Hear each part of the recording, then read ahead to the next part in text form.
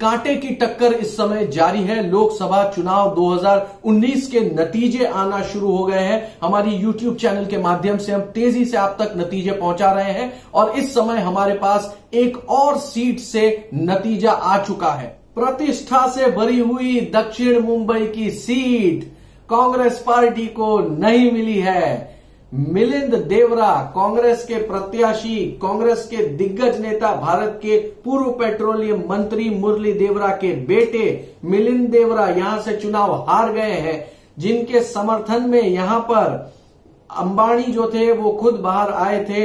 इतना ही नहीं, कई सारे इंडस्ट्रियलिस्ट भी आए थे और उन्हें वोट देने की अपील की थी। लेकिन इंडस्ट्रियलिस्ट की अपीलों को लोगों ने नहीं माना है। यहाँ पे लोकल बॉय यानी कि अरविंद सावंत शिवसेना के उम्मीदवार चुनाव जीत गए हैं। अरविंद सावंत, जो कि एक मील मजदूर के बेटे हैं और बहुत ही लोकल रहकर, लोकल फेस है, लोकल लोगों के बीच में रहते हैं। उन्होंने चुनाव जीत लिया है।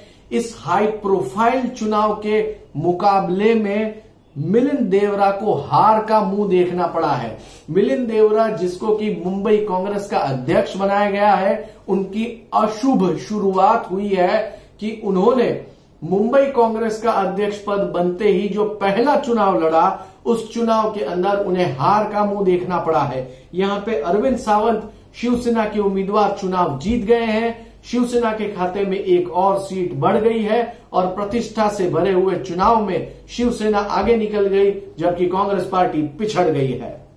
जिस तरह से इस सीट का नतीजा आपने हमारी यूट्यूब चैनल पर देखा, ठीक उसी तरह से हम लगभग तमाम सीटों के नतीजे सबसे तेज़ी से आप तक पहुँचाने की पूरी कोशिश करेंगे।